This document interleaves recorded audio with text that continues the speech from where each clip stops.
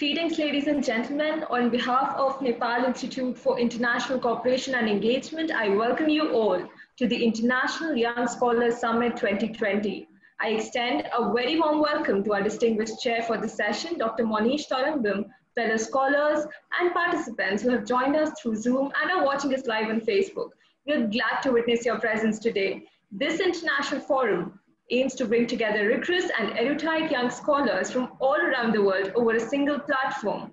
The aim is to create an academic space to encourage young scholars and academicians from the field of international relations, political science, diplomacy, public policy, administration, and related subfields. The conference will be held for three days consecutively and will have 30 different sessions, with two sessions running parallelly throughout in the white and green rooms. The conference will feature 275 scholars from 25 different countries who will be delivering their presentations and sharing their understanding on various topics with us. This session is being streamed on our Facebook, so please feel free to share it on your social media handle with the hashtag IYSS2020. This is the 10th session of the conference and to chair and moderate this session, it's a real pleasure to have with us Dr. Monish Tourangbam with, between us. Dr. Monish is a visiting fellow at NIICE. He's a senior assistant professor at the Department of Geopolitics and International Relations, Manipal Academy of Higher Education, MAHE, Manipal, India, and the coordinator of the Northeast Studies Center at MAHE. Formerly, he was an associate fellow at the Observer Research Foundation, New Delhi, and a visiting, and a visiting faculty at Ansal University, Haryana. He has a number of publications to his credit and has, a, has, has been a regular contributor to a number of prominent strategic affairs platforms, including the South Asian Voices and the Diplomat. He holds an MPhil and a PhD from the JNU University, New Delhi, India. Sir, we welcome you. Please take the session forward. Thank you.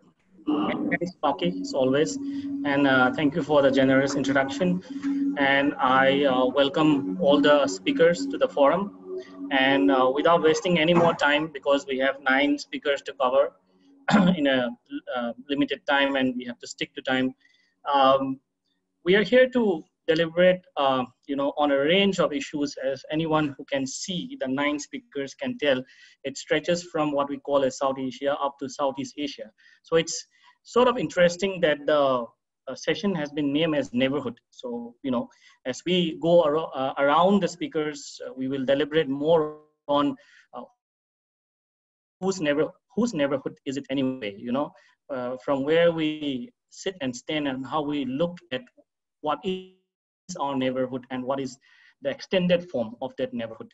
Um, uh, uh, one uh, special housekeeping rule as a chair, I will put on my military watch as soon as the speaking session starts. And uh, uh, you know, I apologize uh, to all the speakers that I will intervene at the six minute with a show of hand like this. And that means that it is time for you to make your concluding remarks so that we give time to everyone. And we still have some time wherein uh, we can raise some questions. So uh, without any further ado, uh, let's start with the first presentation, which is going to be made by Lobzang Dorji, who is a lecturer at the Royal University of Bhutan and he is going to talk about a very interesting theme and the interest of the theme lies in the title which, which he calls uh, Bhutan is a land link country, uh, a case study. Uh, so it is over to you, Lobzang. Uh, you have eight, uh, eight minutes strictly and your time starts now. Am I audible? Yes, please go ahead. Am I audible? Yes, Lobzang. Uh, respected chair, respected chair, dignified, diverse participants across the world. I'm here to talk on the topic, a study on Bhutan as land country for a few minutes. Before I present you the length and breadth of my study, let me thank Professor Pramod and NIICE for organizing the Young Scholar International Summit via webinar in the wake of pandemic COVID-19 and apology to the organizer that I missed formal session as I'm patrolling the crowd in the town to manage COVID-19 protocol. To begin my presentation, title of my paper will suffice the rationale of my study. And uh, many of you are aware about Kingdom of Bhutan. The nomenclature referring Bhutan to outside world as landlocked country in Himalaya situated between China in the north and India in the south. Many literature assess Bhutan ended her as isolation in 1960, 1661 with the introduction of plan economy. International media also reported that Bhutan was connected to the outside world with the introduction of television and internet in 1990. Nonetheless, the connotation is divergent, polarized views clearly illustrating the choices of adjective used to summon Bhutan as landlocked nation. Geographical setting categorized Bhutan as landlocked without referring to the frame of ties from classical period, which would mean from ancient period to present days. Although there are some uh, some literatures uh, is a main problem for reconstruction of ancient and medieval history to support this statement because many of them are being destroyed by fire, earthquake, flood, and inter-Sinian warfare. However, there are several genres of literature such as historical chronicle, biographical literature, and foreign literature on Bhutan, which can argue that Bhutan was landlocked country from the classical period, maintaining her ties with the neighborhood from ancient to the present days.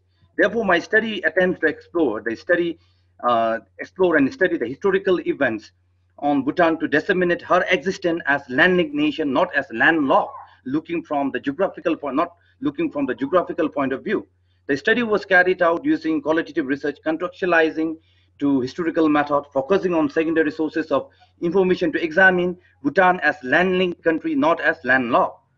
So as we are aware, most of the literature in Bhutan are based on Buddhist ideology. And there are many genres of literature from Dharma history, religious biography, chronicle, epics, folk songs, poetry, catalogs. So the wide ranges of those literature gives you the enough uh, evidence to prove that the Bhutan existed. Bhutan existed and Bhutan was never left uh, aloof from the rest of the world, which would meaning there are some literature so-called the Lhoi Chujun Jamkhoi Montai Tugwa, which was lit the, in the concise history, concise religious history of Bhutan, which was written in 1759, narrates Bhutan relation with Tibet uh, during 557 AD, even in 815 AD and in 796 AD. This detailed historical literature on Bhutan relation with Tibet by different ruler explains how the state has conducted their relation and how they have governed and function as a state in the conduct of diplomatic relation with a neighbor. In the event, while examining the trend of Bhutan's relation with the Tibet, the continuity of ties with the Tibetan ruler of Tibet was recorded. So it clearly illustrates that Bhutan was landlocked country sharing friendship with Tibet. And again, the bi biographical uh, literature are authentic sources of literature containing important and valuable historical information, like biography of Chaka Gelpo, written by Lotsawa Denma Semang on Sindaraja, gives you the accounts of historical event of 8th century, the coming of Guru Rinpoche Padmasambhava from Nepal, and describing the event between fought between the the king uh, Chakar Gelpo and the Sindaraja, the Indian king Nabudra, and then it it uh, it accounts the shared uh, historical information between India and Bhutan, even to the context of Nepal. So it is evident that Bhutan did not live in isolation, as the courses of event details the ties with India during 8th century, even with Nepal. In addition, the medieval history accounts the coming of a various uh, Lama from Tibet. So Tibet accounts the Bhutan was never uh, isolated and never been uh, ne never been left aloof from the rest of the world. And even the visit of first two Portuguese Jesus father, Father Cacella and Cabral in 1627 accounts Bhutan meet to European world. And an interesting, uh, Bhutan had some legitimate power uh, to rule over Kuch Bihar uh, in, in the present day India and then even the king of Kuch Bihar uh, came as a refuge to Bhutan in 1661 AD as a re result of Mughal invasion in India. So these are some of the historical evidence to claim that Bhutan was not isolated. And during the time of the theocracy rule, the, the theocracy gov government, there was a leader called Mingyur Tenpa. So he actively cultivated a close link with the kingdom in Kathmandu and Jumla. In the, in the biography of the temporal leader Damchapekar, he asserts that he met uh, Pratap Malla, the king of Yambu, Kantipur, probably and had been established a temple. So according to the Buddhist sources in 1681, the Pran Narin daughter visited Bhutan to attend even our fourth, uh, the temporal leader's uh, coronation, which exhibits exchange of diplomatic relation in, in South. So all this historical event provide information that Bhutan involvement in politics, diplomatic ties with the Kuch Bihar, and relation with the kingdom of Kathmandu to maintain the balance of power with Lhasa. And then one of the notable event will uh, notable event of historical information was during the reign of Desi Sherab Wangchuk in 1744. So, in, so during his coronation, the news of his installation was spreaded and sent to his neighboring country. And then he received a congratulatory message uh, from the seventh, uh, seventh Dalai Lama and even the Emperor of China, Chief Drukpa, Herald of the Tibet Kagyu, even Shakya Kamrupa, Herald, and kings of Ladakh, Sankar, Nepal, and Sikkim, like congratulated him on, on in, during the during the installation of crowning himself as a deity.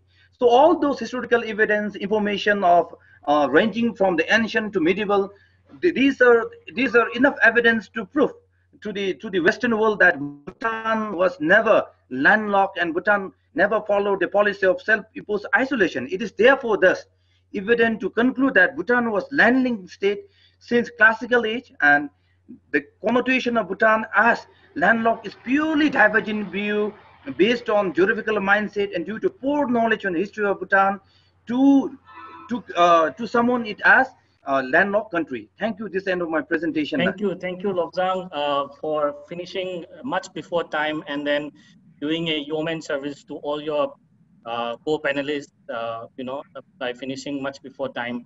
Uh, the argument of your paper is quite evident from the title, and I will not explain it further. Rather, I will give it, uh, you know, to come back after the presentations are made. Uh, the next uh, presenter is a good friend of mine, Dr.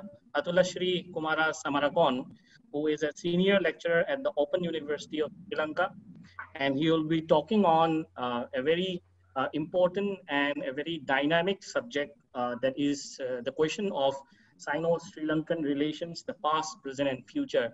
Uh, Athula, uh, I will give you only eight minutes, so I will, you know, I will not many, make any concession for our friendship. So please finish within five, eight minutes. thank you. Go ahead. Yeah, thank you, uh, Chairperson. Uh, my topic is Sino-Sri Lanka relations, past, present, and future. And I have derived these uh, ideas from my PhD uh, submission, which I made some years ago to Jawaharlal Nehru University. Uh, China was not politically and diplomatically welcomed in Ceylon until 1956, uh, but it made its impact felt from 1958 onwards as it rescued Sri Lanka from riots over food rice, uh, food and an economic slump due to the fall of export earnings during that time. China's long-term trade relations with Ceylon were cemented during this period and diversified trade relations were gradually emerging. Uh, after 1956, Sri Lanka's relations with China enabled it to be a closer ally uh, in the spheres of politics, diplomacy, trade, aid, and financial relations despite the fact that regional India had developed a rivalry with China, particularly after the Sino-Indian crisis in 1962. While China's assistance was very often sought by SLFP regimes or uh, Sri Lanka Freedom Party regime, which also maintained non-alignment uh, following India. The United National Party tended to view China mostly as a trading partner. So there was a difference between the regimes when it comes to relations with China. But after 1977, with an open economy, Sri Lanka attempted to strengthen relations with China, particularly in terms of military cooperation, since India was playing an aggressive role vis-a-vis -vis Sri Lanka in the context of growing ethnic uh, conflict in the country. Uh, India's small neighbors, uh, I quote, view good ties with China as a way to serve as a counterweight to Indian dominance in the region. Uh, quote ends. An Indian analyst uh, points out that I quote, in the late 1960s, Prime Minister Indira Gandhi asked all major powers to withdraw from the Indian Ocean and make it out of concern for great power rivalry. Uh, quote ends. Uh, politically and diplomatically, Sri Lanka was for one China policy and it maintained that policy under all governments. It is also assumed that Sri Lanka's engagement with China was part of its regional strategy for assuring a close ally in case India was going to add pressure on the small state. In this section, uh, so during uh, 56 to 77, Sri Lanka uh, in China developed diplomatic and uh, trade relations uh, vehemently, and after 83, uh, Sri Lanka wanted to develop military ties with China. China has been an unwavering source of assistance to Sri Lanka after 1952. Both the uh, UNP and the SLFP approached China for trade, aid, and loans, uh, and it was ready to grant uh, uh, such assistance to the small state without conditions, so attached to them. or at least the general perception of Sri Lankan diplomatic community toward China was such. The foundation of China-Sri Lanka Society marked a special occasion for the relations of the two countries in 1980s. According to Ranil Wickremesinghe, then one of the ministers in the cabinet, politically the two countries used to consult each other on global issues. Devel uh, these developments of people-to-people -people contacts uh, and mark, uh, remarks by major politicians of Sri Lanka over Sri Lanka's relations with China indicate the growing importance of Sri Lanka, growing importance that Sri Lanka had given to China in its external relations. The 1980s was an uh, era Sri Lanka expected China to play a leading role in safeguarding its territorial integrity and sovereignty. For critics within courts, Colombo has always factored in diversified external relations to withstand pressure from India. And uh, courts ends and 1980s testified to this reality of Sri Lanka's external policy, particularly towards China. So India's indifference to rising ethnic violence and tacit assistance to Tamil militants made Sri Lanka to go to uh, the Asian giant China. The UNP regimes, though ideologically anti-communist, had a huge trust on Chinese uh, uh, state since 1952 onwards. However, uh, much of the West would object to Sri Lanka-China connection. Sri, Sri, Lanka used to justify relations with China, mostly alluding to India's favoritism to Tamil's militancy uh, and open high-level uh, diplomacy with China in the 80s. Uh, now I will straight, straight away go to the relations in the current period. In the current period, the, the nature of relations is much more economic uh, trade and trade, economic and infrastructure development. Uh, after 90s, uh, uh, though China did not commit uh, to provide military aid to Sri Lanka, it was always assuring Sri Lanka that it will be there to safeguard Sri Lanka's territorial integrity and sovereignty in case of if external powers intervene in Sri Lanka's issue.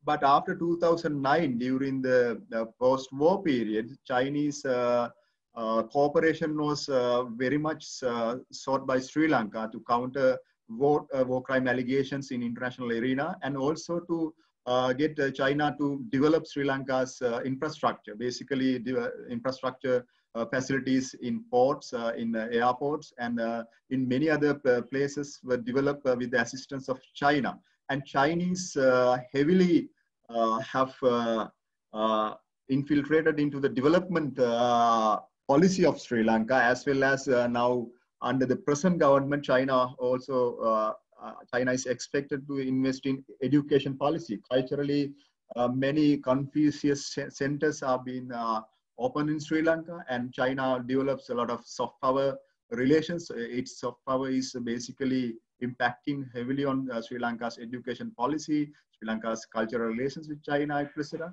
And Chinese uh, political and diplomatic assurance uh, in the international realm, uh, together with Russia, was uh, something which Sri Lanka used to counter India's and US's pressure, uh, basically in the realm of human rights violation, etc. So in the current context, researchers fear that Chinese policy uh, which was so far uh, non-interference in domestic policy, will change uh, at some place and uh, cause to even 1991 uh, with its Look East policy, which was declared under the government of PV Narasimha Rao. So uh, under the Look East policy, policy, India's focus was to engage economically with the ASEAN countries and it was focusing upon the FTA, like and the trade and development of trade relations with ASEAN countries. So uh, in the first decade, India had some achievement like India uh, like uh, was declared as ASEAN summit partner in 2002. And then India also participated in the East Asian summit in 2005. So there were two offshoots that India was following under the Look East policy.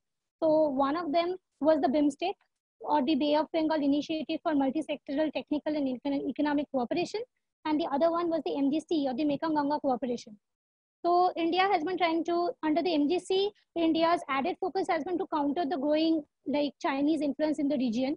So under MGC, India was focusing upon the development of India's cultural relations with the five Mekong riparian nations of Myanmar, Thailand, Vietnam, Laos, and Cambodia.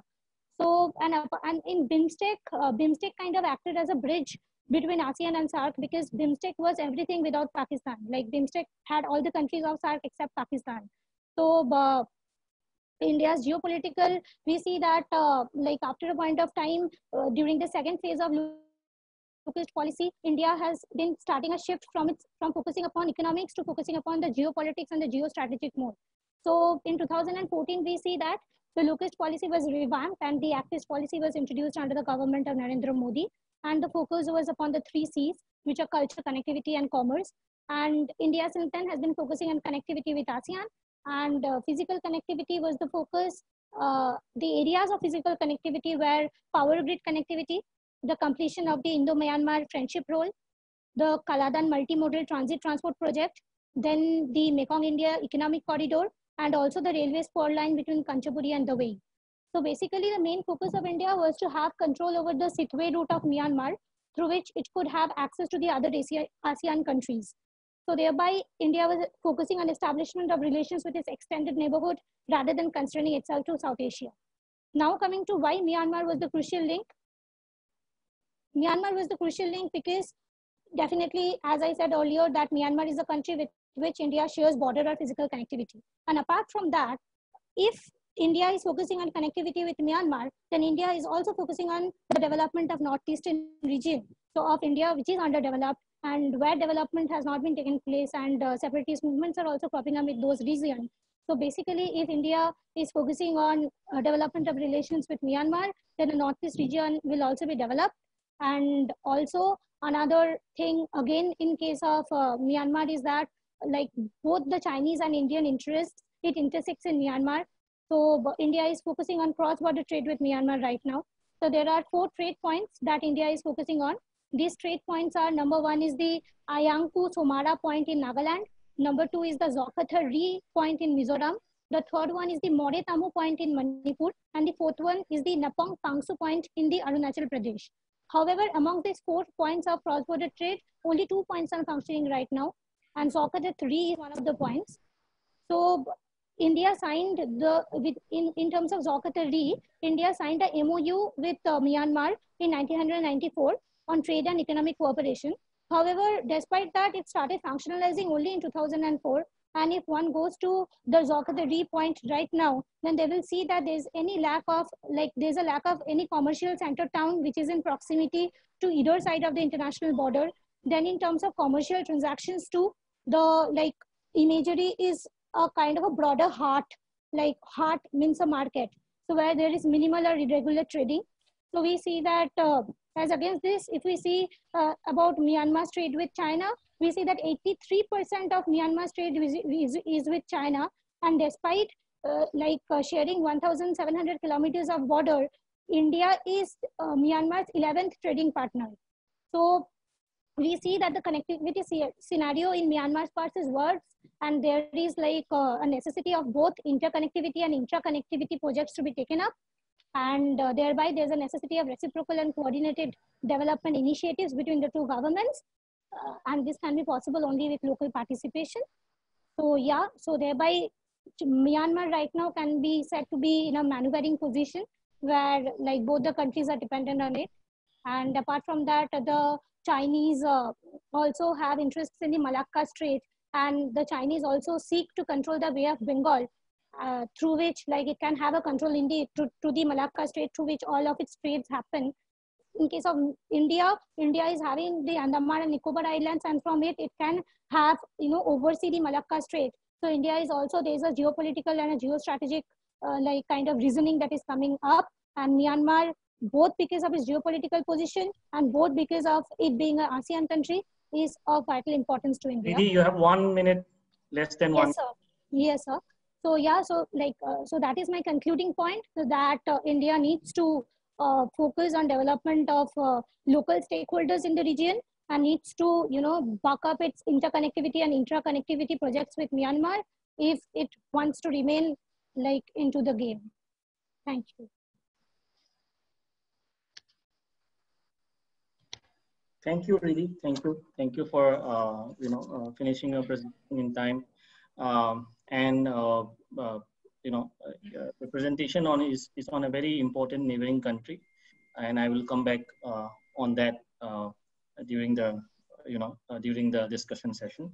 Uh, next, uh, we have the next presentation from Chokey Namgyal Bhutia, who was a student at the Jawaharlal Nehru University of New Delhi. And she will be presenting again on a very important topic that needs to be discussed much more in a pragmatic fashion, you know, um, rather than the umbrella debate about Bhutan being India's nicest and closest friend. So we need to go a little more than that. And I think, uh, you know, she'll help us do that uh, and uh, carry forward the discussion. So she will be presenting on Bhutan's increasing, uh, Bhutan's increasing importance for India's foreign policy. Uh, Chokey, please go ahead. The floor is yours. You have eight minutes. I think Chokey's audio is not visible. I mean, see, her audio is not working. Only her video is working. Could we move to the next presentation and we can come back later? Yes. Okay, okay, we'll do that. Uh, so um, uh, I think now it's a, a good way to carry over from what Riddhi had presented. Uh, and the next presentation again is uh, on Myanmar, uh, but a very different uh, topic and subject. Uh, Paras Ratna, Paras, you are there? Yes. Yeah, I am there. Paras. Uh, so, okay, uh, I need to share my screen. Just a minute. So will you be sharing or do I share it for you? Oh, I say I will share it. Thank you. Can you see it now? Yes, Paras, we can see it. Uh, so Paras is a research associate at the Rashtram School of Public Leadership in India, and he will be presenting on democratization and ethnic conflict in Myanmar. Uh, Paras, you have eight minutes. Please go ahead. Uh, thank you very much, sir. First of all, I'd like to extend my uh, greetings to Sri Pramod Jaiswalji and NIICE team, and to uh, wonderful chair, uh, Dr. Manish Torangwa, so uh, I would going to present, I'm going to present on contextualizing Rakhine conflict, which has made several headlines, uh, both national and international media, and has successfully shifted the spotlight away from the Myanmar's democratic transition process. So when I talk about contextualizing Rakhine conflict, I explore it through three factors, which I say is uh, responsible for uh, such violence. One is democratization, second is history, and third is race. In my presentation, I will successively deal with all these three factors and show how these contribute to the uh, conflict, ongoing Rakhine conflict. Uh, so first of all, we are all familiar with the overview of, of, the conflict that how Rohingya Arakan Salvation Army attacked the police force and that prompted the disproportionate reaction by the Myanmar. An important point to note here is that, or appreciate here is that Bangladesh has absorbed substantial Rakhine refugees as of now. Uh, it has almost 9,54,282 refugees. So while we in our domestic discourse keep talking about influx of Bangladesh refugees, it is also important to note that Bangladesh itself is host of a, a large number of refugees from its neighboring country, that is Myanmar. Uh, let's talk about paradox of democratization. Democratic transitions are often violent in many states. Uh, one reason for such is uh, because when the state is uh, in a demo process of democratic transition. It has ineffective institution, uh, mostly uh, if it is an ethnic diverse state, if it has excessive centralization of state apparatus in the hands of one ethnic uh, group, as we see in Myanmar, excessive centralization in the hands of Bamar, then it incentivizes the use of political violence. Another uh, factor that is responsible is uh, Myanmar as a polity is quasi-democracy. That is, military holds major portfolio and a quarter of seats in, in, in the parliament. In fact, all successful democracies, be it UK, France, Norway, etc., are all product of political violence. So this uh, violence that we see is, is, is nothing in, in unusual if we combine, if we look at in, in the long run and compare it with uh, the process of democratic transition that has happened in different countries. However, in the long run, it shows that in a multi-ethnic society like Myanmar, democratic institutions are effective in containing political violence. Another reason is the spread of social media. Uh, from 0.5 million internet users in 2011 when the transition began to 21 million in 2019 is, uh, points to a huge democratization of the internet space.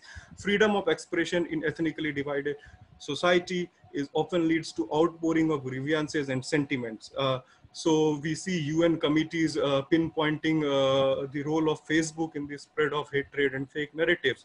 As a result, uh, Facebook was compelled to suspend the accounts of top officials such as Min Aung Hlaing and Myawaddy TV network of the Myanmar military. Another factor, and that is the more important factor, is the race. Uh, so what type of society is Myanmar? Is it a multi melting pot or is it a salad bowl? I argue it is a salad bowl because all groups have uh, are attached to their ethnic identity. In fact, ethnic identity is embedded across the Myanmar society. Ethnic identity can be classified in two ways, Bamar and non-Bamars, and then Taing Yintha, that is indigenous race versus the foreigners. Who are foreigners? The Kala, for example, uh, uh, the, the Burmese Indians or, or, or the Rakhine Muslims, uh, they are called, uh, colloquially called as Kala, whereas the Chinese are called Toyok. So uh, this is the uh, broad overview of the politics of indigeneity, which is crucial to understand the contestations in Myanmar. Taing Yintha, that is the indigenous races, as, uh, as we can translate it, was a crucial component or is a crucial component in nation building vocabulary of Myanmar since the 1960s. General Ne Win used it in a great fervor to unite together different races for the uh, betterment of Myanmar, which was battered with the ethnic conflict uh, since, since, since the days of its independence. So Rakhine conflict, I argue, is not about citizenship because all the third generation offspring of the 20th century migrants are extended full political rights according to the 1982 uh, citizenship law. But it is about indigeneity. Who is who constitute Taing Yintha? Uh, so reluctance lies in acknowledging them not as a citizen of Myanmar, but as Rohingya, which means of Rohang or of Arakan, that is an indigenous race, that is Taing Yintha. So that is how politics of indigeneity is crucial to understand this. So why is uh, acknowledgement of Taing Yintha or, or indigenous race problematic for, uh, uh, is a problematic uh, for um, uh, Myanmar polity? One, because if you, according to Myanmar's constitution, if you acknowledge someone as Taing or indigenous race, then if their population is contiguous is, is equal to half of the contiguous township then they are entitled to an autonomous zone very much like Shan or kachin state bestowing rohingya status to rakhine muslims would make them eligible for an autonomous zone this generates anxiety in the uh, in the minds of both uh, Bamar Buddhists as well as the minds of the Arakan Buddhists. Next, come to the, the interplay of race. Arakan Buddhist and uh, also considers both Rakhine Muslim and Bamar Buddhist as outsiders. Uh, so for the Arakan Buddhists who are fighting uh, the Rohingya or the Rakhine Muslims there, both the uh, Myanmar military and, and the uh, Rakhine Muslims are outsiders. For them, uh, their homeland, they find solace in Mrauk U kingdom of the days of 15th century. So contrary to general perception that Tatmadaw or the Myanmar military is acting hand in gloves with the Arakan Buddhists, it is important to highlight that the Arakan rebel Buddhists are also fighting Tatmadaw or the Myanmar military for their confederate status. So for them, both are uh, outsider, be it the Rakhine Muslims or be it the Bamar Buddhists. So this is an important thing that is needs to be highlighted. Uh, next is history, how history shapes it. History is to, yeah. You have less than two minutes. Okay. So historical memories are, are, are an important, uh, plays an important role in the, uh, in the ongoing con conflict. World War II, one ethnic group was pitched against the another ethnic group and that led to retributive communal violence, the memories of which influences today as well. Uh, next, uh, uh, we need to talk about Rohingya as a historical identity. There is no historical, there is no survey of Rohingya history which says that Rohingya is a uniform ethnic identity. In fact, as Jacques Leider argues that the existence of single identity is difficult to point because Arakan had Muslims from Arab, Deccan and other worlds. So this uniform Rohingya identity is rather a political construct rather than an ethnic construct.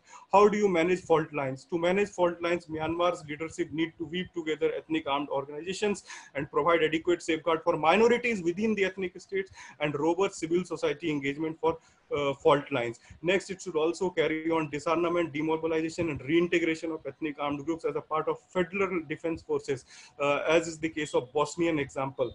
Uh, thank you. With this, I think I would like to conclude it. Thank you.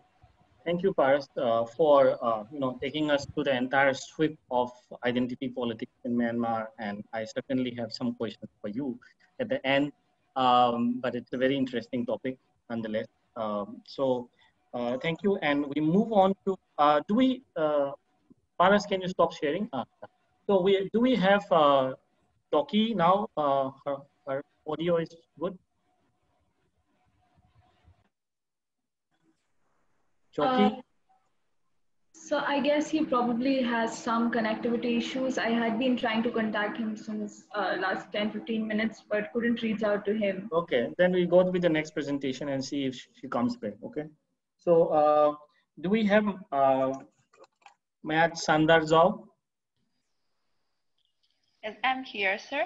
Uh, yeah, uh, Mayat uh, is a research intern at the Myanmar Institute of Strategic and International Studies, Myanmar, and uh, she will again be presenting on a very interesting aspect of Myanmar. Now, uh, you know, from uh, Riddhi talking about Myanmar as a crucial link in India's Act East policy to Paras talking about the Rakhine state problem in Myanmar, uh, we now go over to Myat uh, talking about a big picture issue, which is uh, navigating the US, India, China triangular axis in Sri Lanka and Myanmar. So she has two case studies. Uh, Myat, you have uh, eight minutes, uh, like everyone, and the floor is yours. Please go ahead. Thank you, sir, for the recognition. Uh, let me first share my PowerPoint. Uh, can you see it? I can see it. Please go ahead. Uh, thank you. So of all the countries in the Indo-Pacific, why Sri Lanka and Myanmar for this presentation? Uh, first of all, because of their geostrategic location, uh, Sri Lanka is at the center of Indian Ocean and, and uh, a gateway to the Indian subcontinent, while Myanmar is at the crossroads between India and China, as well as between India and Southeast Asia, and for India's Act East foreign policy. Secondly, because they both are emerging markets with a huge potential because of their locations, but they also have weak political and economic institutions, which greatly hinder their progress towards diverse economic partnerships.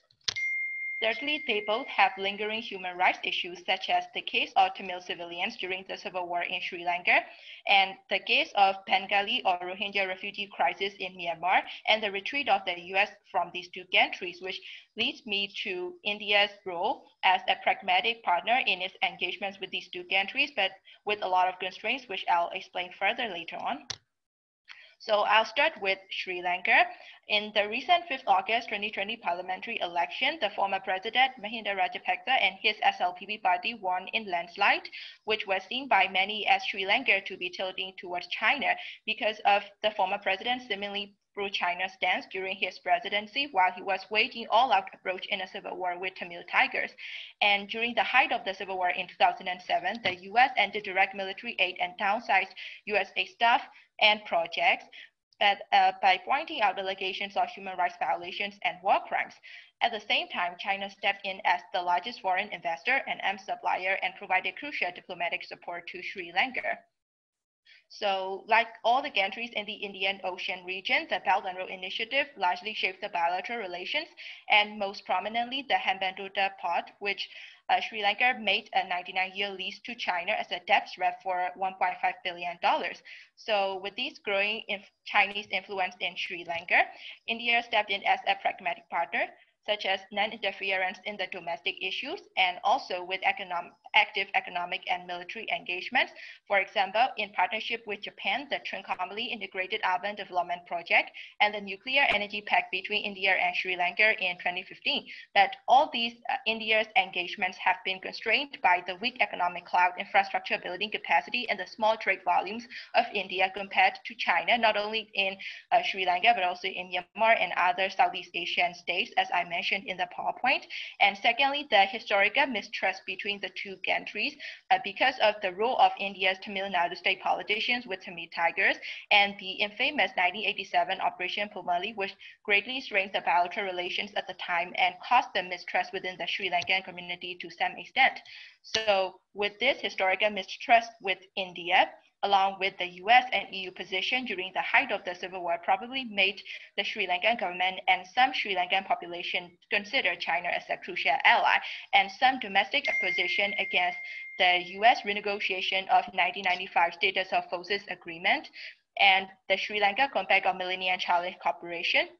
And also US and, uh, and also India and Japan initiated Trincomalee Integrated Urban Development Project, which I mentioned earlier. So with these facts in Sri Lanka, it is widely seen as China is increasing its leverage in Sri Lanka, which is also the same in Myanmar. Uh, so during the administration of President U Thein Sein, uh, China's position in Myanmar was quite defensive, I would say, because of Myanmar's rapprochement with international community and its more diverse economic and diplomatic partnerships with the suspension of controversial My Dam project. But the bilateral relations between the two countries be uh, arguably stronger during the NLD government, driven by the three factors I said. The first is about the economy. China's multi-billion dollar loans from the Belt and Road Initiative and the direct aid to the government are huge incentives for government of Myanmar, as well as other governments of small countries, which are lagging far behind infrastructure capacity. And the second is about China's huge leverage on Myanmar's ongoing peace process. For example, the remaining non-signatories of nationwide ceasefire agreement, NCA, most importantly, the Arakan Army and the Northern Alliance operate on Chinese border. And the third factor is probably the most important, such as China's crucial diplomatic support to Myanmar regarding the Bengali or Rohingya refugee crisis. And just as in Sri Lanka, uh, BRI largely shapes the bilateral relations, such as the China-Myanmar Economic Corridor, CMEC, which is a Y-shaped corridor. And of all the projects of the CMEC, the most crucial Chinese geopolitical initiative was uh, Special Economic Zone and the deep sea port in Rakhine State, which could be a great answer to uh, China's uh, Malacca dilemma. So the importance of China-Myanmar Economic Corridor was apparent during President Xi's visit to Myanmar earlier this year in January 2020 with signing the three agreements about the CMEC. And the visit was quite significant in the diplomatic sense because of Myanmar's reaffirmation of one China policy amidst the ongoing pro-democracy protests in Hong Kong and President Xi's pledge to continue diplomatic support to Myanmar. So with these, with all these facts of of China's leverage in Myanmar, China is widely seen as the victor, which leads me to the role of India. As uh, in Sri Lanka, India practiced a pragmatic approach and non-interference in the refugee crisis, and also conducted its own initiatives, such as the, the Landmark Defense Cooperation Agreement in July 2019, and uh, conducting joint naval and military exercises and promoting its made in India arms industry, and also uh, India probably see, India sees Myanmar as critical for its ambition to become $5 trillion economy by 2024 as the crossroads of ASEAN-India free trade area.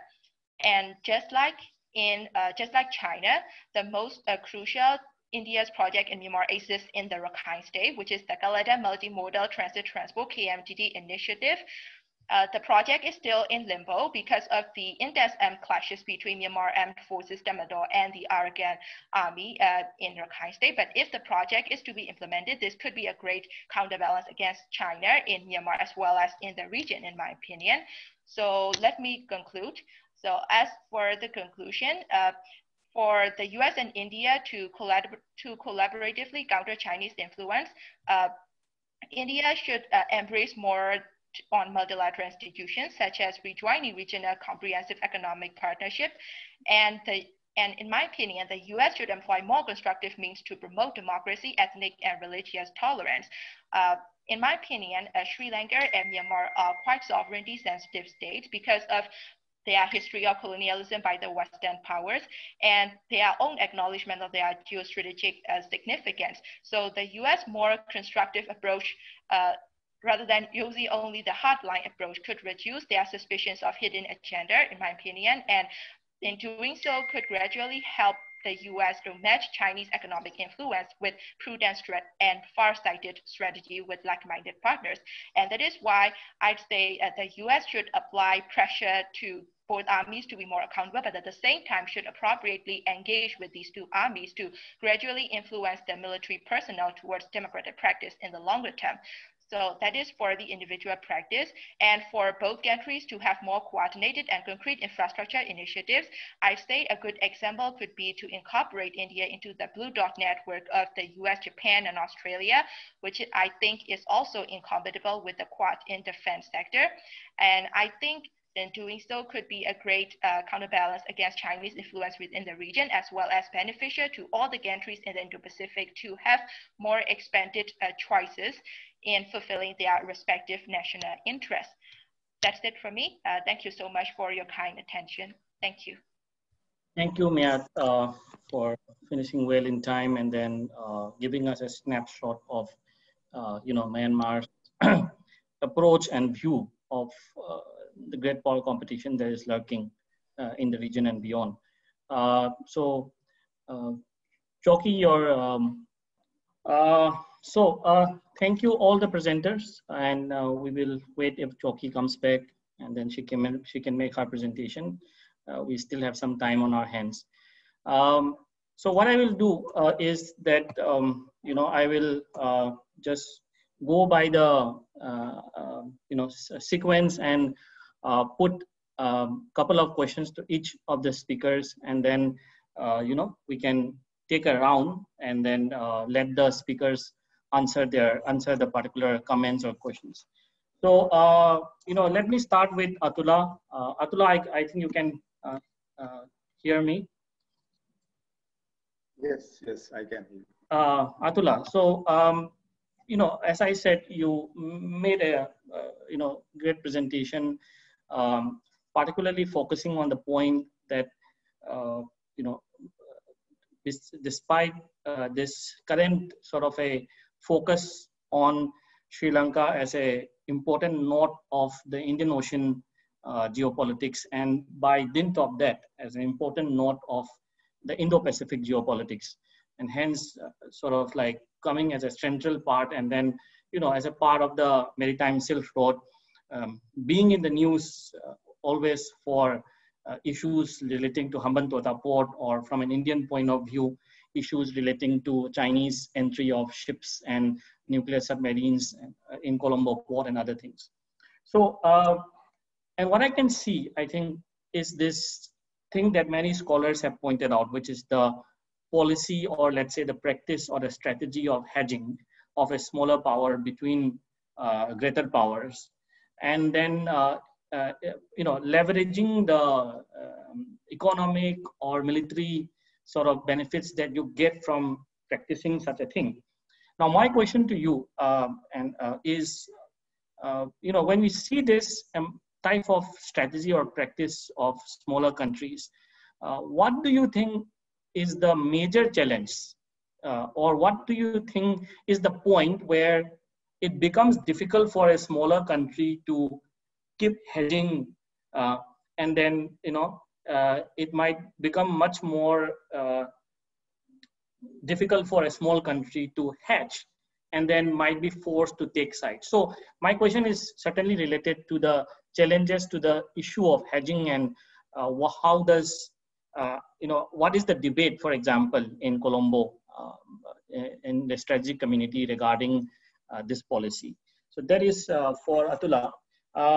Um, for Monika, um, you know, first of all, I would uh, give a few minutes to Monika uh, to complete uh, to give her conclusions, which she was not able to do properly. Um, but uh, my question to Monika would be because she started by presenting something regarding the liberal international order and the debates regarding the challenge to liberal uh, international order and this question about like what is china bringing on the table right uh, what is Chinese leadership of, or if there is a Chinese sense of hegemony, which of course uh, the Chinese will deny, um, if there is such a thing with Chinese characteristics, you know, uh, what would that look like? You know, how, what would be the parameters? Like if we say there's a US hegemony, we say, for example, that there's democracy and there is like multilateral institutions, um, uh, you know, and economic capitalism and all those kind of things. Uh, so what would be the parameters of a Chinese sort of a thing? And then probably you could link it to um, the technological sector that you were talking about and setting rules and regulations in the technological sector. So how do you see that approach, uh, you know, of, of China? Uh, the next, uh, to the next presenter, uh, to Dr. Datta. A very interesting presentation, and you made your point very clear of how you locate, let's say, you know, in India, we kept talking about India's strategic autonomy. but I think you fairly sort of pointed out the importance of locating uh, Bangladesh on strategic autonomy also uh, in terms of how it will navigate its relations with both India and China, why they are both important to, uh, both the countries are sort of important to Bangladesh. Now, um, and you mentioned, I think this is something that I find very interesting and probably you could throw light on this. You mentioned about, uh, you know, uh, India's role in the Bangladesh liberation, you know. Uh, so on the one hand, you have this thing about like what you were talking about, cultural linkages and all those things, and India's role in Bangladesh liberation. You know, but over the period, you know, and I am portraying the kind of uh, debate which happens in India, for example, that we often see Bangladesh or relationship with Bangladesh from a two prism thing you know, which is that if Khaleda Zia comes to power or the BNP comes to power, it's bad for India. If Sheikh Hasina comes to power, it's good for India. Uh, you know, what is the debate in Bangladesh regarding this India's view of its relationship with Bangladesh?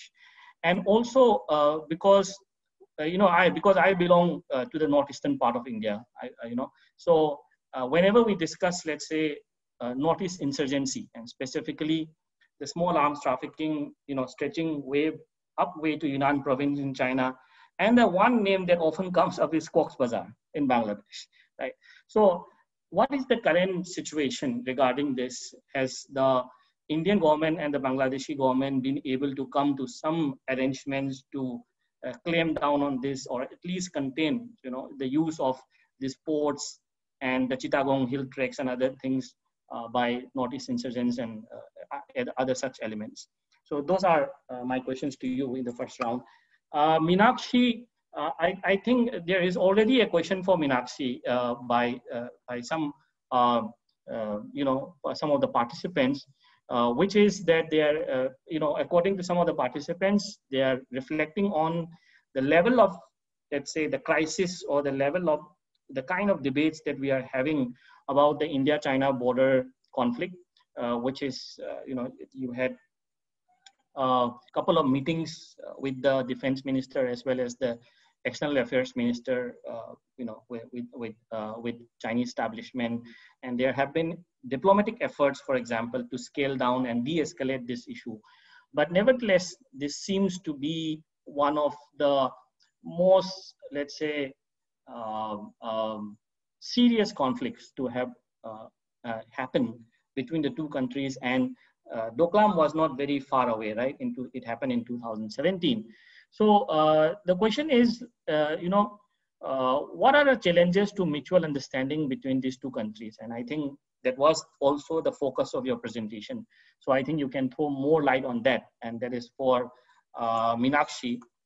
The uh, uh, in Riddhi for Riddhi also I think there's already a question from participants, but I will uh, try to sort of like you know my question is um, you know you explain about the different projects which are happening with Myanmar at the center point and you know the northeast of India sort of being the gateway and all those things. Uh, what are the major challenges? Because we have been hearing, you know, I am from Manipur, so I know like we have been hearing about the trilateral highway for always, you know, it's been many, many years. And every now and then you have some news that, okay, it's going to be functional, this and that. But uh, as far as I know, there are some issues on the Myanmar sector, uh, not the Indian sector or the Thailand sector. So like this, you know, be the uh, Kaladan project or any such project, you know, it's often compared to Chinese projects in Myanmar. So what are the major challenges that confronts India's projects in Myanmar? Uh, that is one.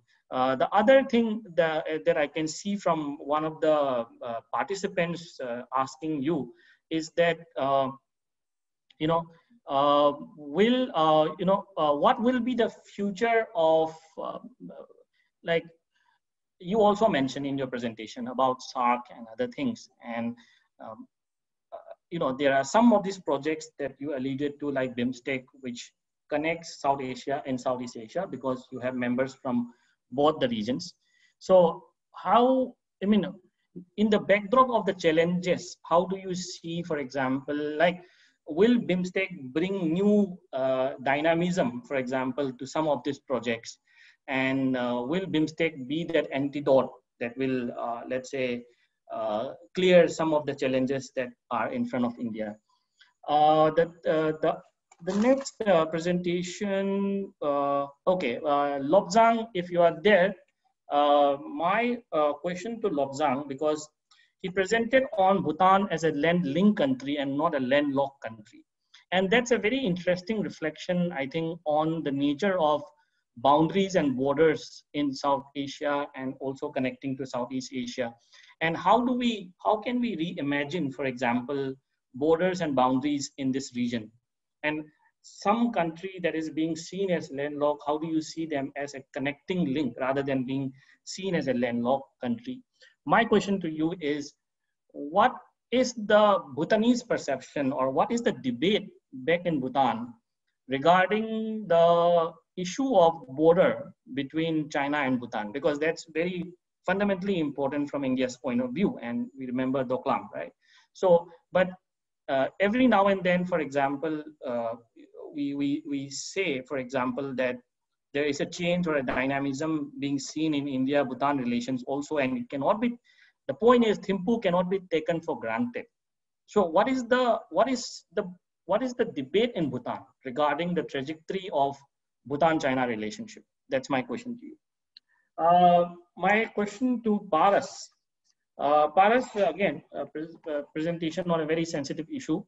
Um, so Paras, uh, you know, I want to uh, argue about your salad bowl representation a little bit because uh, that is uh, you know a little bit similar to the kind of debate that happens in the diversity that is uh, seen uh, for instance in the united states also.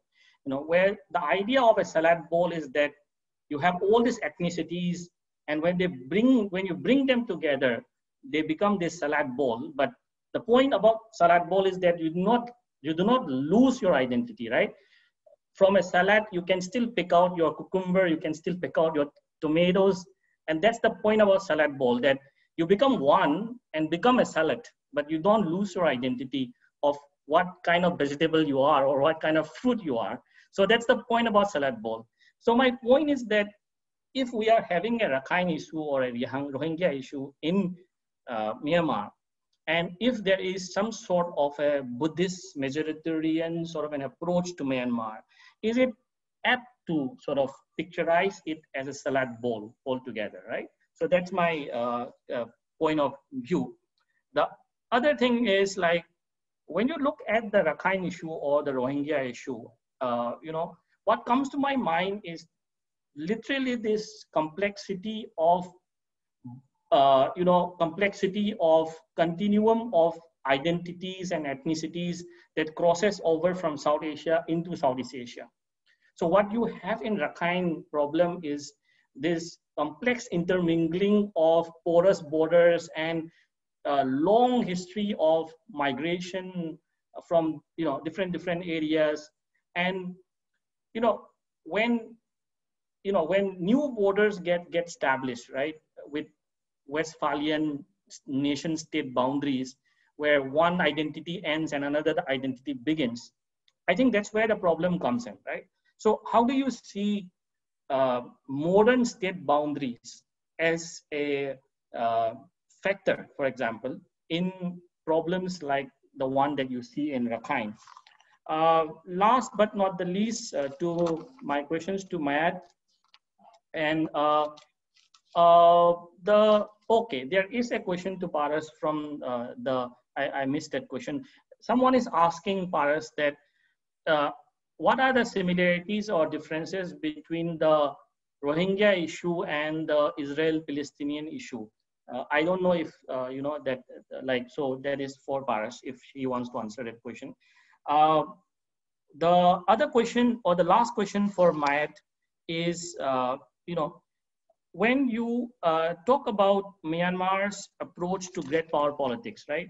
So how do you see, for example, the role of the NLD and the coming of democratization, whatever like level of democratization it is, the, the, the, the, the kind of Western approach that you are going, you are seeing towards Aung San Suu Kyi, for example, right? So how do you, how do you, you know, how do you see, for example, that in 2011 or 2010, you had Hillary Clinton, 2011, you had Hillary Clinton, Secretary of State of Obama administration visiting Myanmar.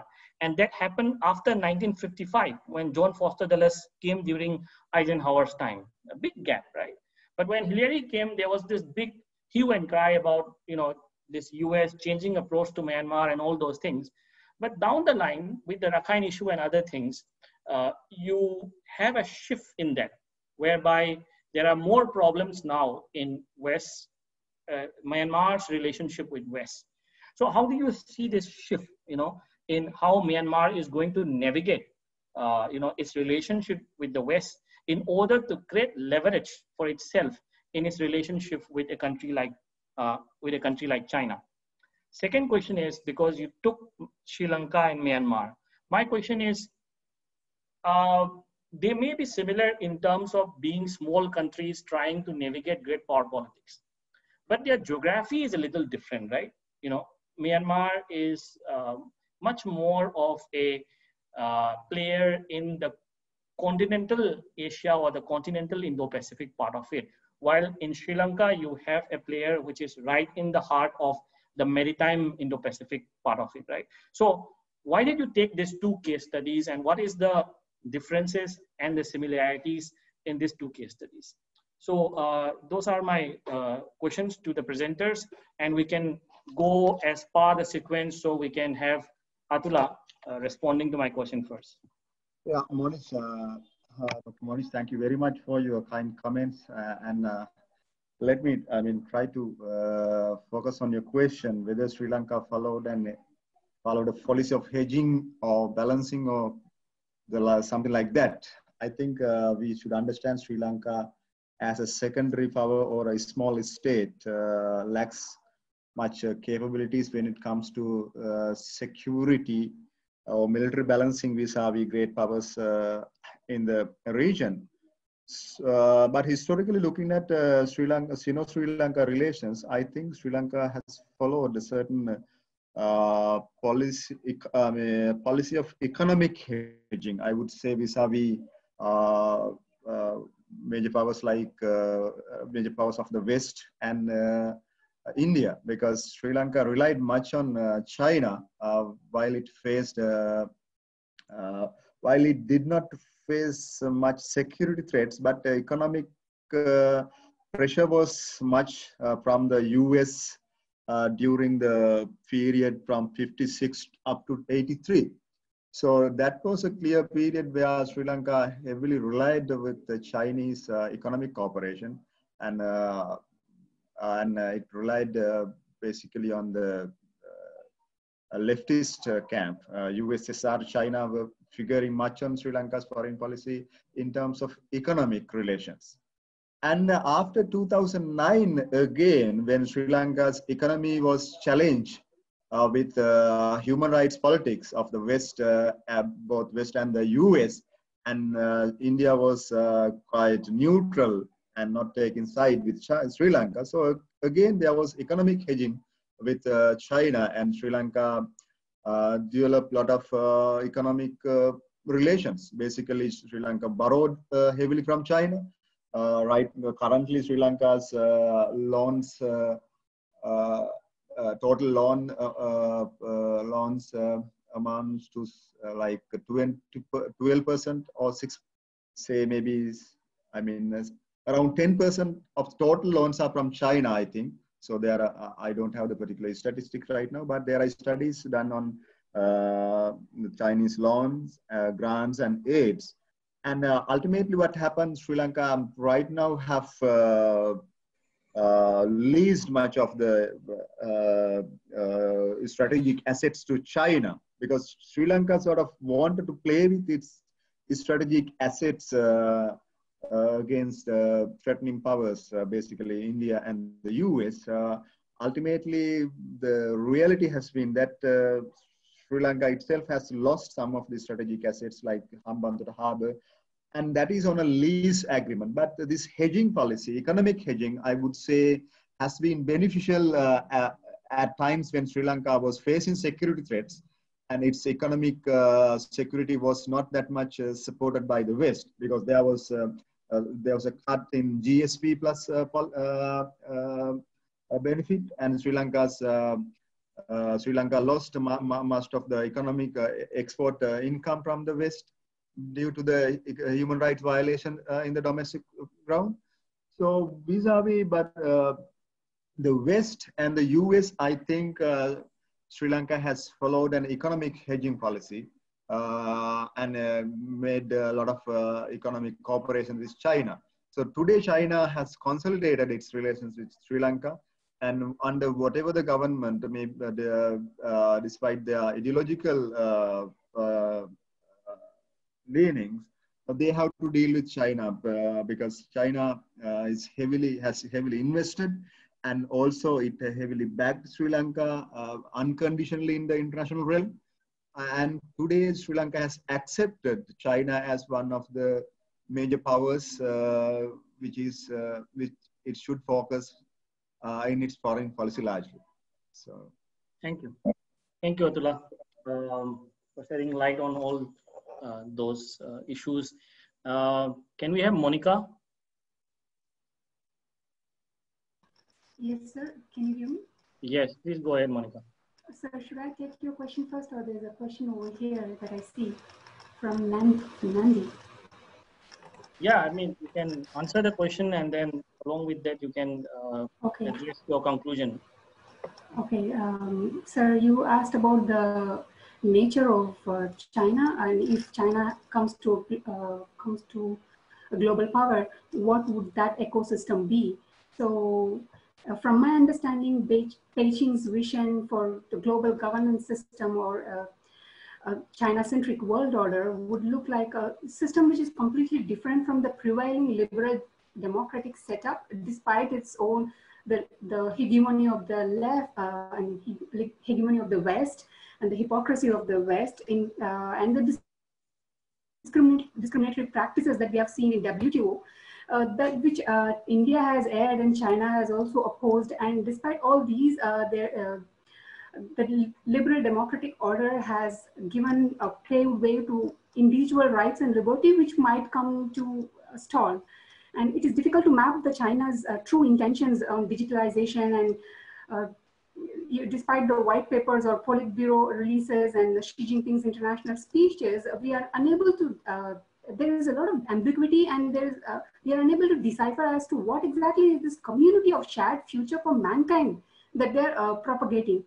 Uh, is this a global governance that they, uh, they are propagating in, um, in repressive regimes like in Zimbabwe and uh, other failed nations?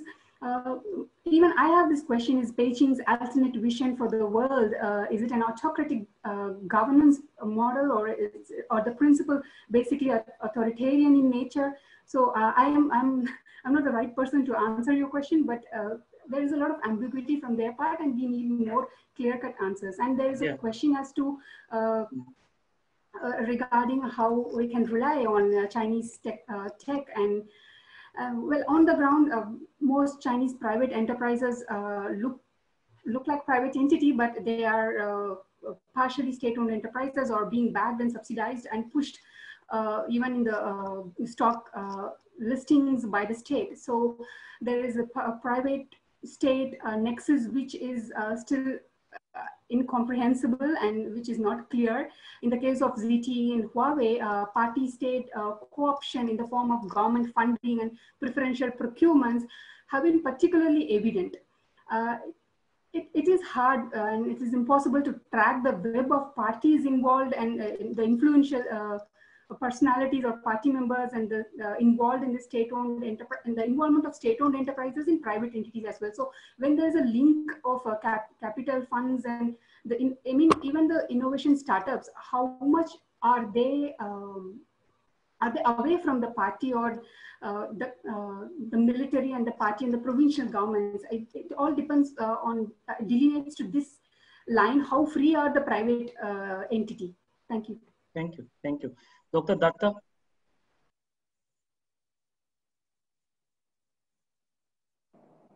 Thank you, sir, uh, for your nice questions. Actually, in my questions, um, uh, for the first, I just have two parts in my questions. First is the historical uh, relations all the political parties with uh, India. So, uh, in the historical background, uh, we can see the one 15 August 1975, a few army officers has killed the father of the nations, Bangabandhu Sheikh Mujibur Rahman, who is the founder of the Bangladesh Awami League. China didn't uh, formally establish bilateral ties with Bangladesh only until 1975, four years after the birth of Bangladesh. But the bilateral relationship in the immediate post-independence period was placed by the legacy of China's role in the liberation war, where it sided with Pakistan and it against in Bangladesh. The strained relationship was further highlighted by the use of the veto by China in the Security Council to block Bangladesh entry into the United Nations in 1972. Since China recognized Bangladesh in October 1975, the countries have persistently promoted a deepened uh, their political, economic, and diplomatic relation uh, with China. Uh, and the, my another question is the insurgence of Northeast India. Actually, uh, Northeast India is the most uh, unstable and insurgency affected place in the in the country after the Kashmir. It is the east uh, part of India. The region is composed of the eight states, namely Meghalaya, Manipur, Assam, Mizoram, Tripura, etc. And the India's northeast connect with the five countries, especially Bhutan, Bangladesh, Myanmar, China, and Nepal. If we recall the 10 trucks arms case in Bangladesh, the incident of 10 truck arms took place in Chittagong, Bangladesh on night of 1st April in 2014 when police and the Coast Guard interrupted the loading of 10 trucks and seized extensive illegal arms and ammunition at the jetty of Chittagong, Urea Fertilizer Limited on the Karnafuli River. This is believed to the largest amount smuggling incident in the history of Bangladesh. And investigators believe that that delivery was intended to the United Liberation Front of Assam, ULFA, a militant group seeking the independence of Assam from India and considered responsibility for the causing thousands of deaths since 1979. Its military wing chief, Paresh Barua, then living in Dhaka, was among the 50 person unlimited charge of the case. On the other side, the incident occurred during the administrator of Bangladesh Nationalist Party, BNP, and its four party alliance, which led the government from 2001 to 2006 Media analysts said that given the scale of the operations and existing problems with the corruptions, high government officials and intelligence officers were believed to be involved in the smuggling plans. So it is clear that Bangladesh Awami League Party is very close to uh, India and Bangladesh Nationalist Party, BNP, is uh, known to as a pro-China party, which is against Indian sentiment. Thank you, sir. Thank you very much. Thank you, Dr. Uh, next, we have uh, Meenakshi. Please go ahead. Um, thank you, sir. Uh, you asked me rega regarding the reasons for the clashes between China and India. Well, if I talk about the reason, then the main reason, uh, the first main reason is different interests. Like both nations have different interests. Like China want to increase its uh. Like as China wants to like control the whole South Asia. Like as he's trying to become friendly with Pakistan, he's trying to become friendly with Nepal, Bhutan, and now with Bangladesh also, with Sri Lanka also. But on the other hand, it, India is uh, not like this. Like India is a more peaceful kind of nation. Like India is trying to develop the relation, but on friendly basis, not on authoritative basis the second reason the second possible reason is like both nation has different kind of government like in india as we have democracy whereas in china this is not the case and the third possible reason can be the like present pandemic covid-19 as uh, every nation is trying to accuse china for the for being the originator of uh, this uh, coronavirus. So like, uh, so now at present, China is trying to like uh, shift the uh, attention of everyone from corona to border dispute with India. So these three can be the possible reason for the clashes between India and China. And in the chat box, uh, somebody asked about the second Indo-China war. Like, uh, yeah, you can term this, but it is not correct. Like, as India, China hasn't declared any kind of war as we have declared in the in our 90s so we haven't declared any war. So we can't uh, name it as war formally.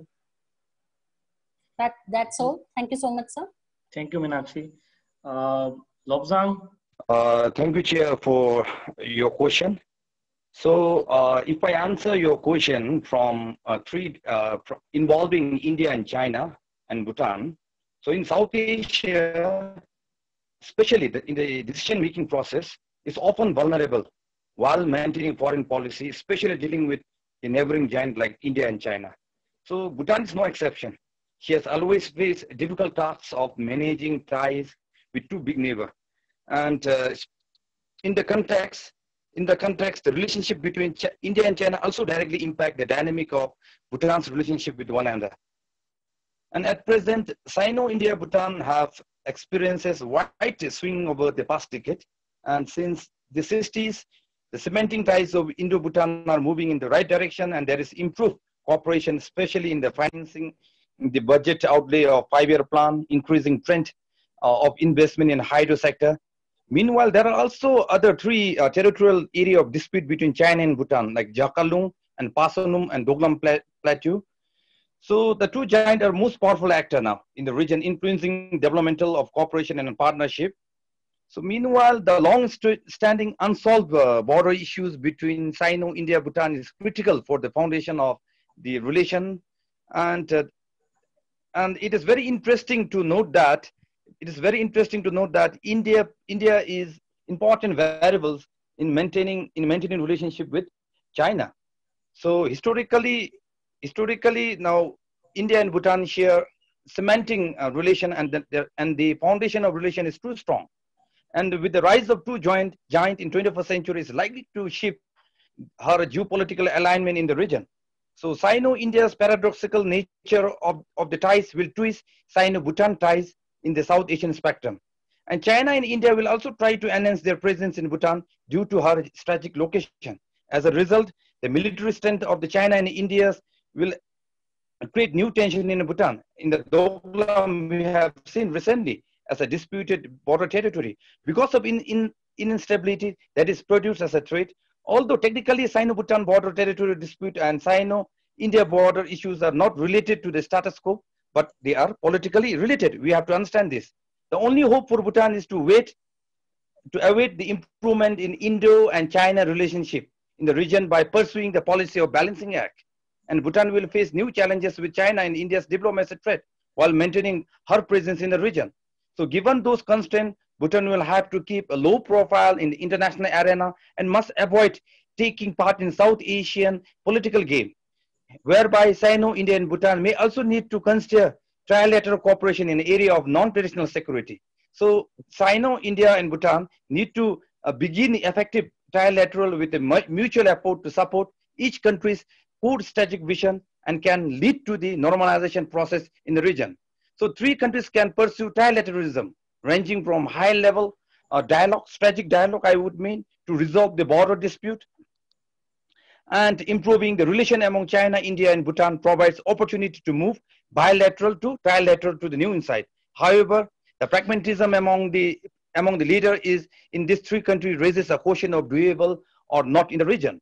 So to conclude, Sino, in, Sino when we talked about Sino and uh, Sino-Bhutan uh, border issues or relation, so we need to include India, uh, India, India, in, India in the equation so that India plays a very important role in determining the foreign policy, in determining, determining the dispute, to resolve the border dispute between two countries.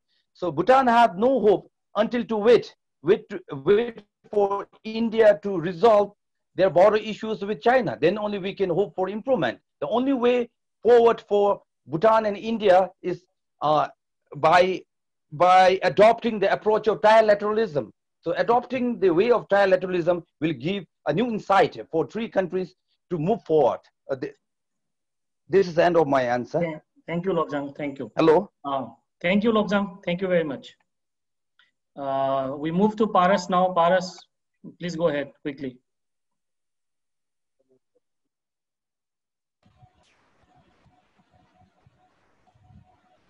Yeah. Uh, hello, sir. Yeah. So your first question uh, regarding uh, salad bowl and Buddhist majoritarianism, I would like to add, sir, that uh, there is a layered reality in this case. For example, if you look at the Rakhine state per se, uh, uh, there is you can argue that it's between Buddhist Buddhist versus the Rakhine Muslims, but but there are three ongoing conflicts here, three ongoing contestations rather than conflict, I would say.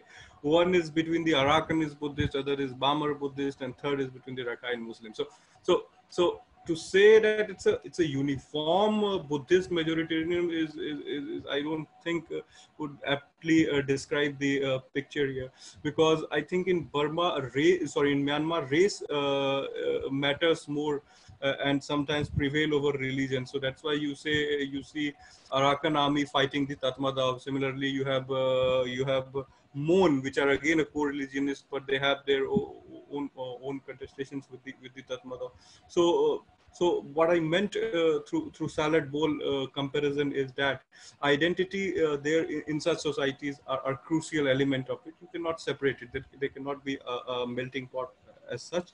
But uh, perhaps uh, if if uh, if the dominant ethnic group which has control of the state apparatus shows willingness to co-opt them through a more federal structure, so devolution of power.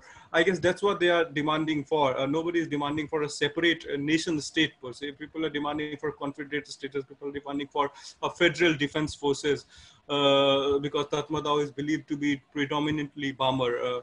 Uh, uh, Bamar force. So they are demanding a, a, democratization of defense forces and these things. So I guess if these things are tackled or, or dealt with in a, in in a fairly federal manner, uh, then I guess uh, uh, more or less this contestations could be halted. Next is regarding the complexities of migration. Uh, so again, th this is a Pandora box uh, because when we are saying complexities of uh, migration, migration was there since 7th century, 9th century AD when you have in the Rakhine you had Mrauk U Kingdom, they had in their court employed uh, people from say Arabs, Deccani, migration was there and, and, and, there was certain amount of fluidity. But what saves this conflict, uh, especially in the current time, is, is one, uh, colonial memory and another, the state building nature, the very state building nature of, of the Myanmar state also saves this, uh, this conflict. So if you look at the colonial part of it, uh, when, the, uh, when in 1824, the first Anglo-Burman war happened, and interestingly, the 1982 citizenship puts 1824 as the cutoff date for who is the uh, who could be claimed to be the indigenous race uh, of Myanmar. So when the 1824 happened, there was substantial amount of uh, substantial influx of um, of, of population from what we, we call East Bengal of British India to to across the Nafs River in, in the in the in the Arakan province of that time. So that uh, kind, uh, also uh, led to the shift in demography and other. So so and also during the 1942 Cold War, British for, formed V Force, where they employed uh, these uh, Rakhine Muslims uh, as their guerrilla forces, while the Buddhist Irakans joined hands with the Japanese. So, so there is there is a profound uh, suspicion uh, that exists. And in 1942 as well, it led to retributive colonial violence where when the British forces withdrew, they started, uh, they, they attacked the, uh, the, the Rakhine Muslims because they doubted their integrity. Next, during the independence movement, when the India was partitioned, uh, uh, two towns is Buthidaung and, and, and, and, and, and my thing, sorry, I, I found I cannot pronounce it that way, but uh, these two townships, uh, which are predominantly Muslim townships, toyed with the idea of, of joining then, then East Bengal, uh, then the East Bengal. Uh, so that memory also saves them, uh, and that is one of the reasons they are hesitant in giving them, acknowledging them as Rohingya, because they think that if, if, if we acknowledge them for, as Rohingya, then they will be entitled to have an autonomous zone, autonomous township, an autonomous zone or autonomous township just adjacent to Bangladesh generates territorial anxiety both in the Arakanese Buddhist and as well as the Bamar Buddhist.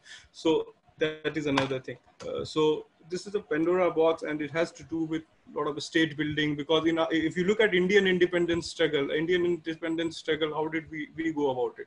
We said unity and diversity. We knew the, the uh, one a typical uh, a uniform uh, template won't fit. So we went saying unity and diversity, uh, where different uh, uh, different groups come together and, and, and work in tandem with the national unity.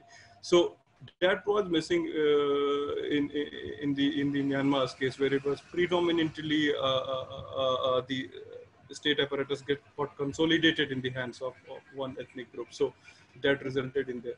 Next, it's comparison with the Israel-Palestinian issue. I, I, think I don't think th this fits the comparison here because no, Israel you don't have to answer that. Yeah. Okay. Okay. Yeah. okay. Thank you, Bharat. Thank you uh, moving over to the last presenter, Myat, uh, please go ahead and yeah, your response. Am I audible, sir? Yes, please go ahead. Uh, first, uh, I'd like to thank you for asking me these two questions, which I wanted to address during my presentation, but due to the time constraints, I didn't add them during my presentation. So let me first answer your second question, which is why I chose this topic, uh, Sri Lanka and Myanmar, and their differences and similarities. Uh, to first answer, to first tell you about the similarities. Uh, the first one would be their geostrategic location, which I mentioned in the presentation. So with the Kyaukphyu deep sea port and the project in Rakhine State and the Hambantota port in Sri Lanka and the Chittagong port in Bangladesh and also uh, Gwadar port in Pakistan. This would be like um, China's a string of power strategy against India and also a great arena for the great power politics, and that is why uh, I chose this. And the second reason is uh, the role of Buddhist nationalism uh, in these two countries. Like um, the Western critic about the Sinhalese Buddhists in Sri Lanka and the Bamar Buddhists in Myanmar are not uh, identical, but there are also similarities, which is the feeling of vulnerability of these uh, two uh, Buddhists, uh, the Sinhalese and, and the Bamar, uh, and their perceived and their perception on the West uh, double standards or the hypocrisy, and which is uh, which makes uh, their leader even more popular and leads probably to some disproportionate measures. And the third similarity between them is the massive popularity of the ruling parties, the SLPP in Sri Lanka and the NLD in Myanmar, and also the two leaders. And this is uh, the similarities between the two countries. And as for the differences, uh, I think uh, Sri Lanka is currently uh, more stable than uh, Myanmar because the civil war has already finished. And the country, I, uh, which in my opinion is more, you know, homogeneous. but while in Myanmar, there are many other ethnic minorities and there's still an ongoing civil war. And the second difference is uh, China's leverage. I think uh, China's leverage on Myanmar is probably uh, more uh, uh, more bigger because not only on the role of diplom China's diplomatic support, such as China's diplomatic support to Myanmar in the, at the United Nations Security Council and, and other things, and the role of the economics, but also on its uh, leverage on the Myanmar peace process, which uh, in Sri Lanka has now already finished. And the third uh, difference is uh, the relationship uh, be between China and the West uh, among these two countries, Sri Lanka and Myanmar. I think Sri Lanka has at least some advantage in uh, comparison with Myanmar uh, in its relationship with the West, uh, because the West uh, has at least uh, some, uh, you know, uh, massive investment proposals for uh, Sri Lanka, which I didn't see in Myanmar, such as uh, the U.S. Millennium Challenge Corporation's huge economic assistance to Sri Lanka, which I mentioned in the presentation. So this is my answer for your second question, which is about the differences and similarities between Sri Lanka and Myanmar. And to answer your first question, which is the role of uh, State Counsellor Aung San Suu Kyi and how the NLD government will navigate its relationship with the West as a leverage against China. So um, as a Myanmar citizen, uh, I think uh, no, uh, what is different from the perception of the West or the world on the Aung San Suu Kyi is that uh, she's not only a human rights icon as many other people around the world sees, but she's also uh, see, uh, she's also a nationalist and a politician, which she sees herself uh, as well, and which is also apparent in her dealing with the Bengali or Rohingya refugee crisis, in my opinion.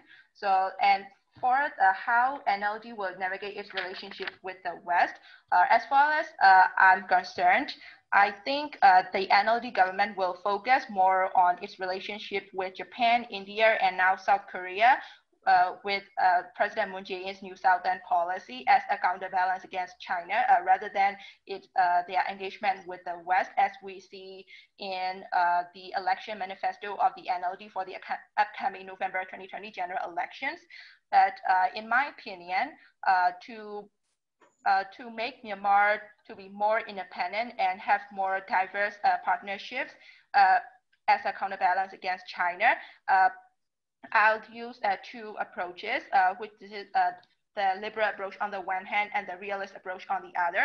And on the liberal perspective, I think the NLD government uh, should improve more on the human rights situations, not only in Rakhine State, but also on other dimensions of human rights situations, such as uh, re reform uh, some yes. laws restricting freedom of expression and also in the Rakhine State, uh, apart from the citizenship question, the NLD could also, uh, you know, uh, improve the humanitarian assistance to all the affected communities in the Rakhine State. And this uh, uh, improvement in the human rights situation could be a great leverage uh, to the West. And the second factor is a sound, the second factor might sound a realist, which is about the improving uh, Myanmar's economic leverage in the views of the West uh, by taking an example of uh, countries like Vietnam.